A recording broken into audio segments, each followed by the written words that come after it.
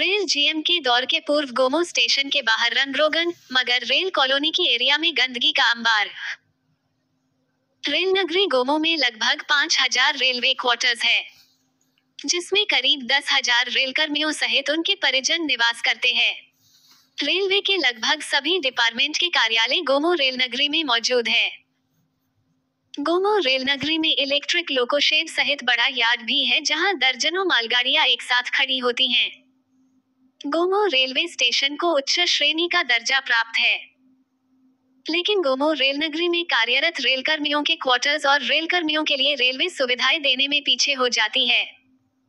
Gomo rail नगरी जहाँ पर निरीक्षण के लिए हाजीपुर जोन के जनरल मैनेजर साहब गोमो आ रहे हैं।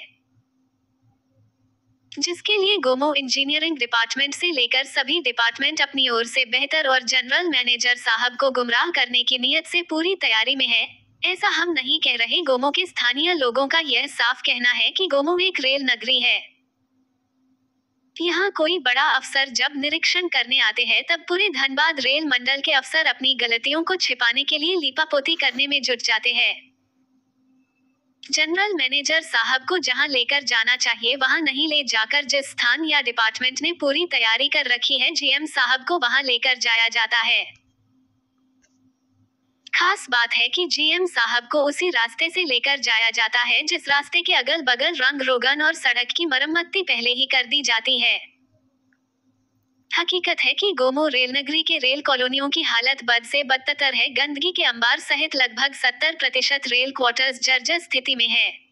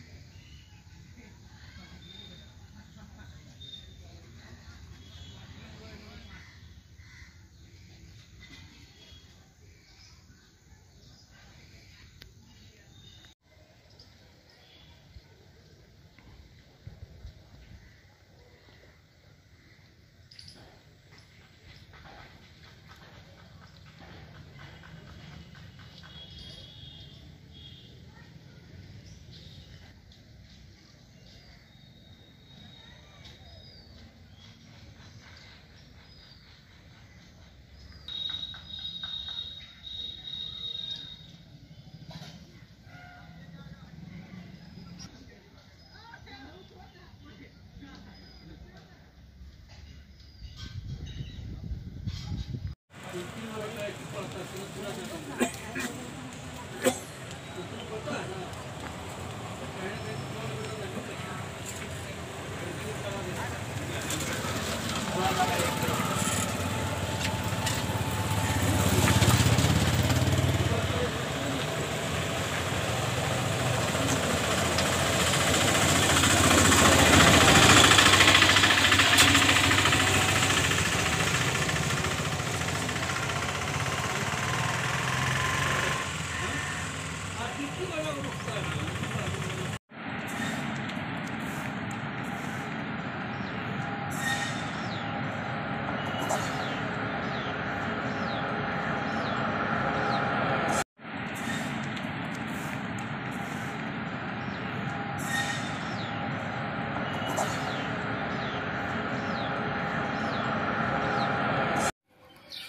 गोमो में रेल जीएम का पदार्पण हो रहा है और गोमो में, क्वार्टरों के बगल में गंदगी का अंबार लगा हुआ है।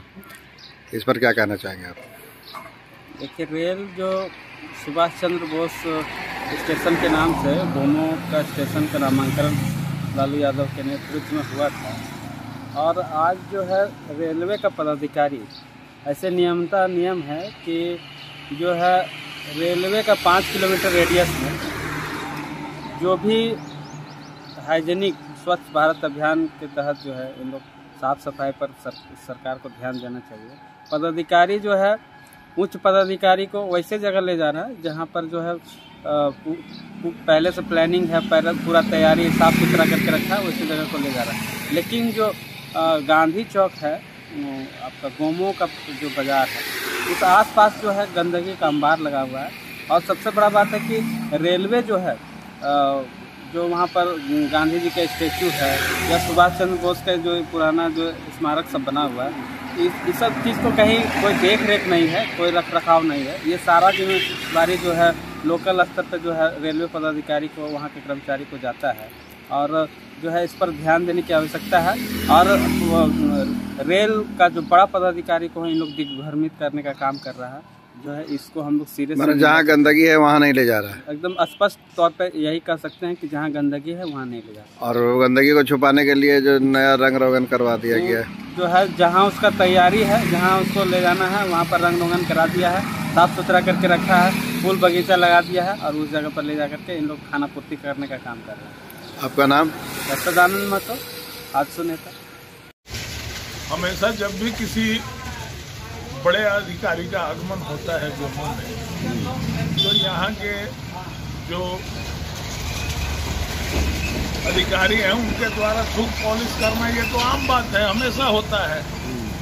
लेकिन उच्च अधिकारी को चाहिए जीएम साहब को डीआरएम साहब को, थोड़ा कॉलोनी के अंदर थोड़ा मुख्य रास्ते से लेफ़्ट राइट भी देखें, फिर समझ में आएगा, वास्तविकता नज़र आएगी गोमो की, कि क्या वास्तविकता है। वो तो स्टेशन से उतरेंगे और सबसे खूबसूरत देखने जाएँगे लोको सेट रनिंग रूट इसके अलावा तो दाएँ बाएँ देखते नहीं है और दाएँ बाएँ अधिकारियों का झुंड रहता है। तो हम उनसे आग्रह करेंगे जीएम महोदय से डीआरएम महोदय से कि थोड़ा दाएँ बाएँ रेल कर्मचारियों की स्थिति भी जो है कैसी है कॉलोनी की वो देखें और कैसे वो रहते हैं, वो भी देखें। सड़कों की क्या स्थिति है, वो भी देखें। कूड़े का अंबार पड़ा रहता है, वो भी देखें।